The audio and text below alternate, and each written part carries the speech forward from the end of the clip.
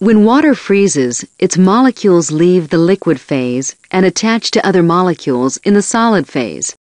At the freezing point, an equal number of molecules move into and out of the solid phase. A solution of ethylene glycol, automobile antifreeze, has a freezing point lower than that of pure water. Molecules of the solute block the interface between the solid and liquid phases, thus decreasing the rate at which molecules leave the liquid phase and attach to the solid.